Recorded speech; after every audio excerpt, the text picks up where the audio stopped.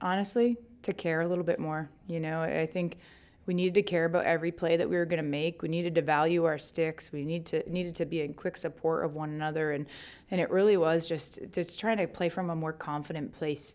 You know, in the beginning of the year, so many teams are very fragile, and um, you know I think it was huge for us to get that first goal today, and and you watched it, you could see us transform, and so I think for us we, we just got to start to play from a more confident place where we're believing in who we are.